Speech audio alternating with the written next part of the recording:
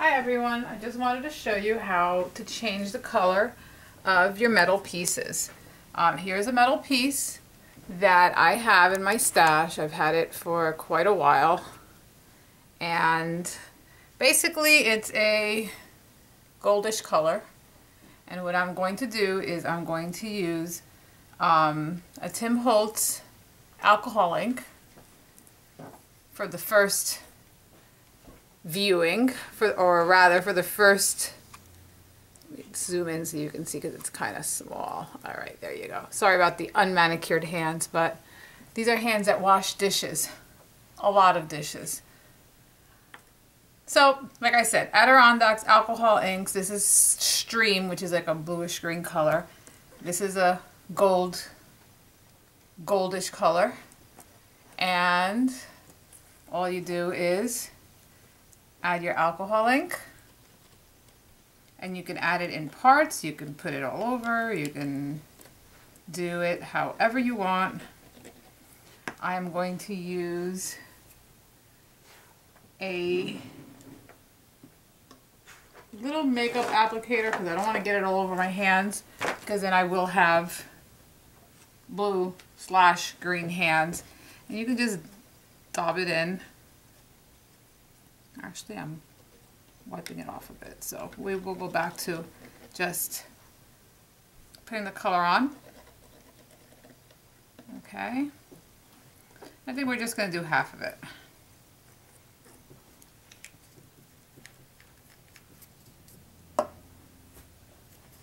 Then what you would do is heat it up with your heating tool. I'm sorry about the noise, but here we go.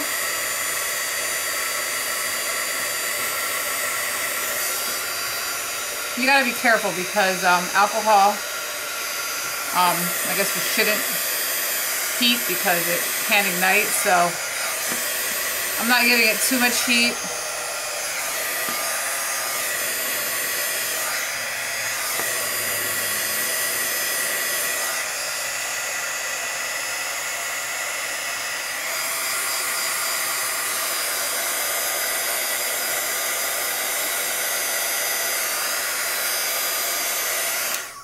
So, since I don't have another one, I only did I only did a portion of it.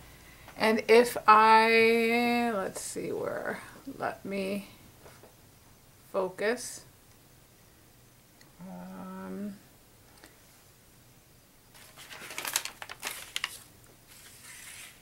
if you look at I don't know if you can see that, but half of it or rather these two petals are the only ones that are still the natural color while the other ones are a bluish green. I think you can see that better now.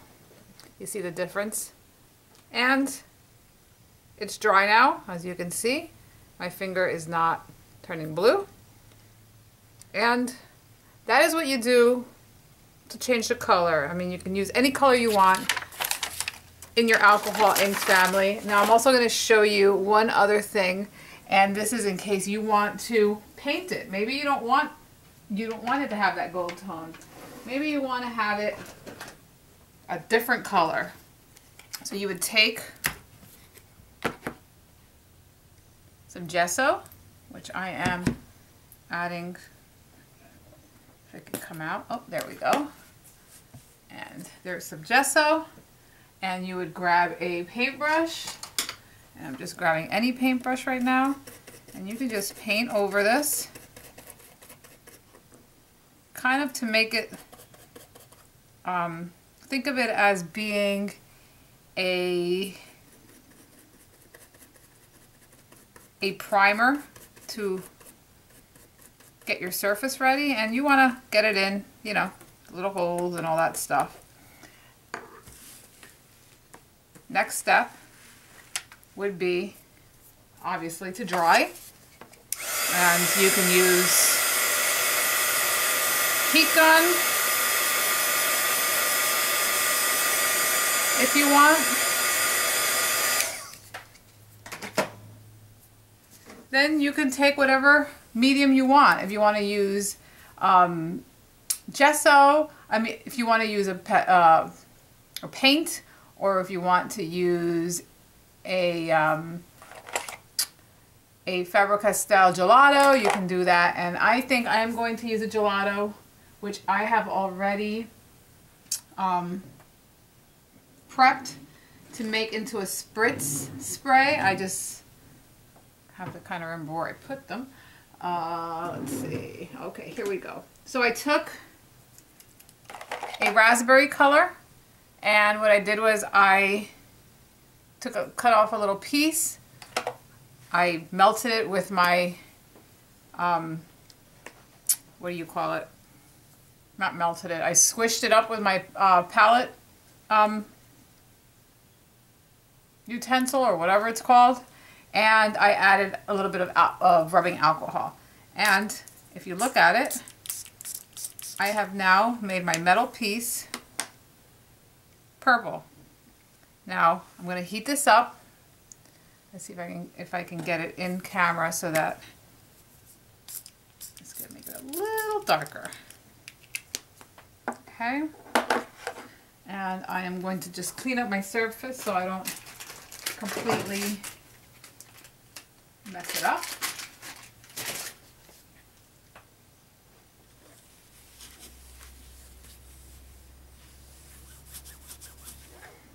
Okay, and I am going to, ooh, now this is getting, this is coming out really cool. The blue that we did earlier actually popped through my gelato and my alcohol and you're going to see how doesn't that look cool? It looks very distressed right now, and that's a surprise to me because I was not expecting that. But check that out. I guess an alcohol paint probably wouldn't work if you were trying to cover up, for example, my blue alcohol because the only colors that took purple are the ones that were um, that only had the gesso. But I'm really digging that, and I don't know if you can see that close up. How it did take a greenish, bluish hue, and it's only on those three and a half flowers.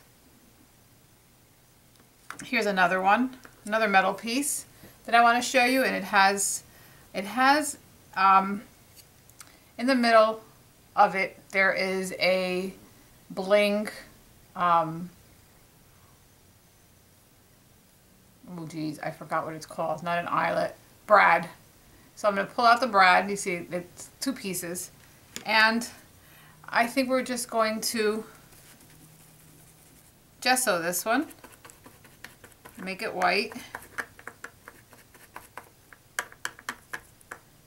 Kind of hard to gesso these things because, you know, you don't want to get it on your fingers, but Someone's got to do the dirty work.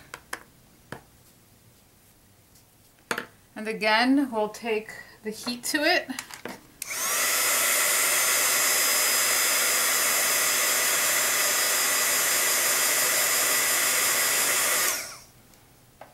And if you look closely, it almost looks, let me just clean this off for you.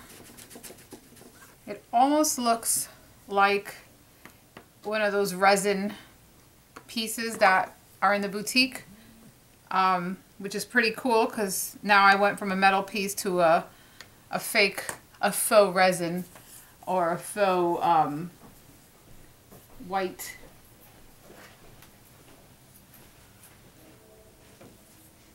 So instead of using the alcohol in, and I'm going to use a gelato, and this is in raspberry and you can color it in if you want I mean it's a little harder.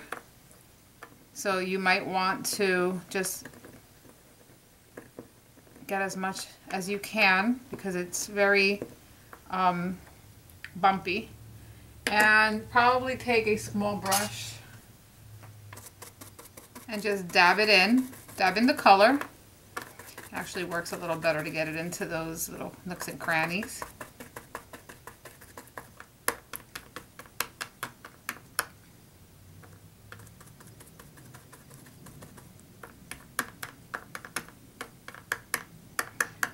And as you see, it is now purple, which we can still add a little more to make it a little darker.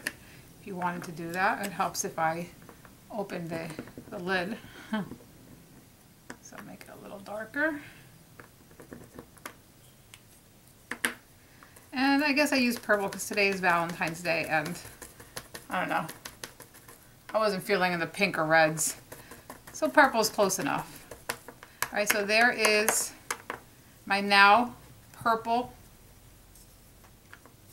metal piece. And um, I am guessing I'm going to use a little matte medium to seal in the color because I don't want it to rub off. And I'm looking for a clean brush. So here's a brush and I'm just going to rub in some matte medium which will dry clear.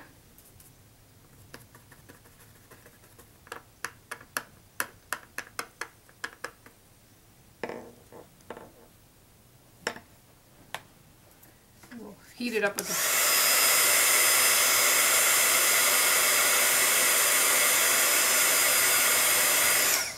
And now I've gone from having a metal piece to having a purple piece.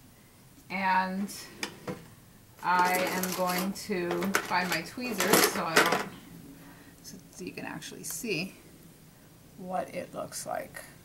It almost looks a little on the distressed. Um, it looks a little more whiter on this video than it actually does in person.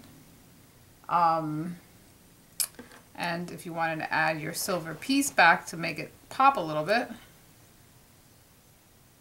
there it goes with your bling. So I just showed you how to do two different techniques.